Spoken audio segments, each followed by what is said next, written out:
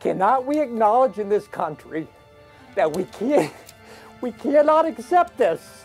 I can't do it, Wolf. I'm sorry. We can't do it. Yeah. And the Oscar goes to. What was your response, Phil Mudd? Let me give you one bottom line. As a former government official, government's going to kill this guy. Well, Trey Gowdy ought to have his ass kicked. I am a proud shitholer. Shitholers built this country 110 years ago. They were called slopers and slant eyes.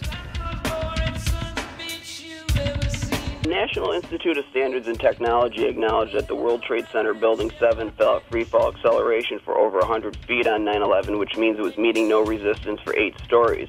So, sparing me a diatribe about conspiracy theories, can you please give me a straight answer on how you think that's scientifically possible without the use of explosives? Look, I think we should pass on this question. If you want to tell me that there's something going on beyond two planes going into buildings, I never saw anything that suggested it.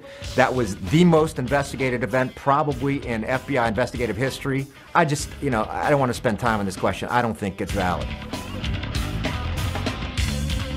One generation called you a nigger.